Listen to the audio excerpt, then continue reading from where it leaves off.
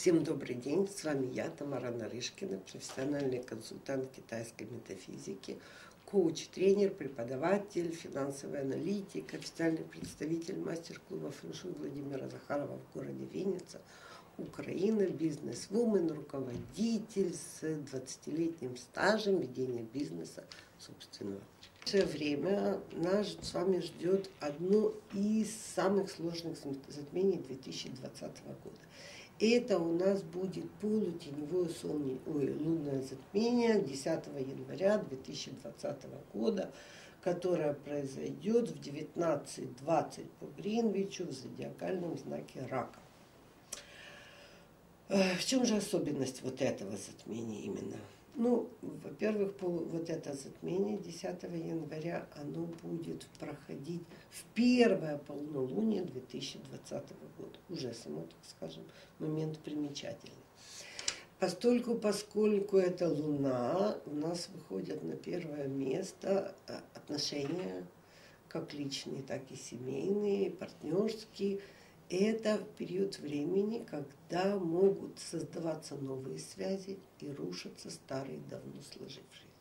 Причем те новые связи, которые будут, э, будет появляться возможность их создания, они будут достаточно долгосрочными. Поэтому вот когда в этот период жизни будут появляться вокруг вас какие-то новые незнакомые люди, и у вас произойдет какое-то знакомство, обращайте на это внимание. Потому что этот контакт может быть надолго, они останутся в вашей жизни. И в то же время могут отходить, так скажем, ненужные люди, даже те, с которыми вы общались долгий период времени до этого.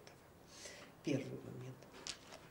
В принципе, э, хорошо это или плохо, ну как сказать, я думаю, что это совсем даже неплохо. Еще момент. Почему? Потому что, вот смотрите, лунные затмения, Луна, она выводит из тени скрытые проблемы какие-то, да, которые давно требовали какого-то решения, завершения. И как раз наступает момент, когда это нужно сделать.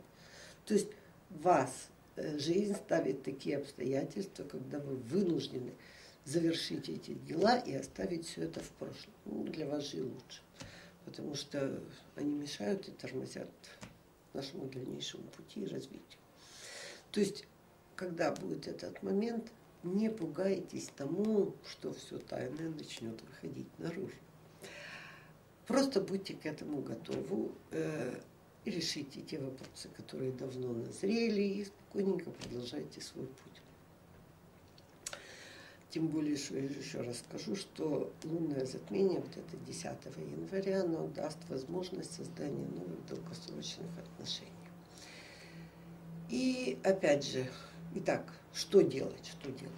Первое, завершить ранее начатые дела, те, что у вас не завершены, поставить новые цели, задачи, составить план действий на ближайший период своей жизни – Важно держать эмоции под контролем, избегать конфликтных ситуаций, провести медитацию, очистить, успокоить свое сознание, прислушаться к своему подсознанию, обращать внимание на знаки Вселенной, подсказки будут, даже не сомневайтесь.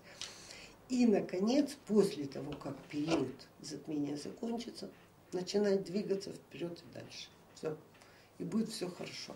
Наблюдать полутеневое лунное затмение 10 января смогут жители Европы, Азии, Африки и Австралии.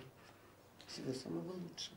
И тут в коротком тогда нам скажите, как себя будут чувствовать люди, вот состояние здоровья вот людей, кому надо обратить внимание, и сколько вот оно влияет на нас, это затмение? Так вот я же говорила, оно влияет от 7 до 10 дней до начала затмения и столько же после затмения. А страдать будут люди, чувствительные к энергетическому воздействию влияния, то есть тонкая эмоциональная психика и настройка, и люди, склонные к сердечно-сосудистым заболеваниям. Все.